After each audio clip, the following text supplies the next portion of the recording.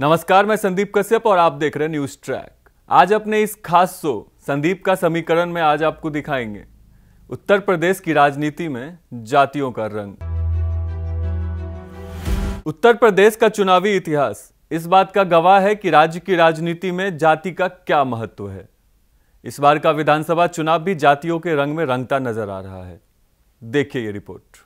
हमने उत्तर प्रदेश की राजनीतिक माहौल में जातीय समीकरण को समझने की कोशिश की तो हमें पता चला, उत्तर प्रदेश के राजनीतिक इतिहास के हर एक पन्ने पर जातिवाद नज़र आएगा। जी हाँ यहाँ हर जाति का अपना एक अलग वोट बैंक है। कुछ जातियों और वर्ग विशेष पर राजनीतिक दलों का प्रभाव भी माना जाता है। जाति की राजनीति के चुनावी समीकरण को समझना कोई रॉकेट साइंस नहीं है।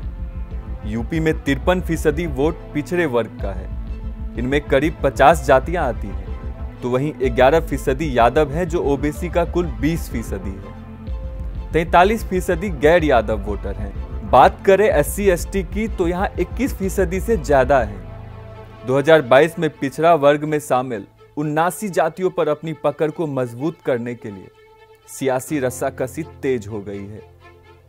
राज्य में स्वर्ण मतदाता की आबादी तेईस फ़ीसदी है।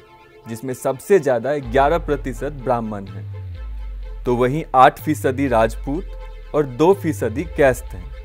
ऐसे में इन्हें किंग मेकर भी माना जाता है।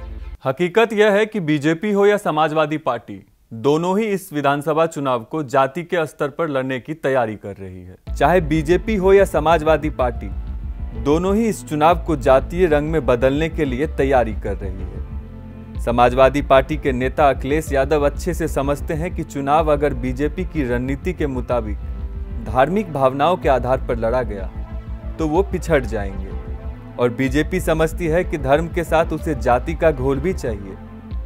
पिछला चुनाव यानी 2017 में बीजेपी की भारी बहुमत से जीत में धर्म से ज़्यादा जाति आधारित राजनीति की ही भूमिका रही थी। बचपन में पूजा के अंत में कहते थे धर्म की जय हो, अधर्म का नाश हो, प्राणियों में सद्भावना हो, विश्व का कल्याण हो। क्या वर्तमान की राजनीति इस रास्ते से भटक गई है? लग तो कुछ ऐसा ही रहा है।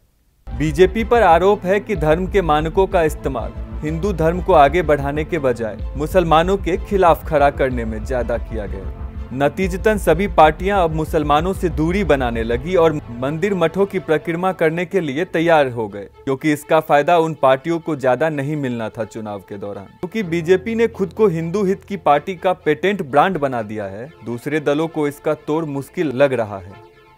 समाजवादी पार्टी ने इस बार बीजेपी की उसी जाति आधारित राजनीति को अपनी रणनीतिक हिस्सा बनाया।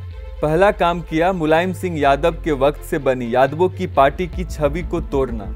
और फिर बीजेपी समेत दूसरी पार्टियों से गैर यादव पिछड़ी जातियों को जोड़ने की कोशिश करना। अखिलेश ने बीजेपी को ही झटका देते हुए स्वामी प्रसाद मौर्य जैसे ताकतवर मौर्य और पिछड़ी जातियों के नेता के साथ साथ तारा सिंह और धर्म सिंह सैनी जैसे नेताओं को अपने साथ जोड़ लिया।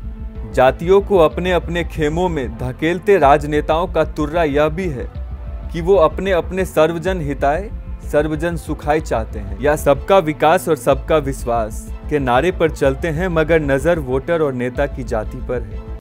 जब तक देश की जनता जातिवाद से ऊपर उठकर मतदान नहीं करेगी, तब तक देश का कल्याण होना मुश्किल है।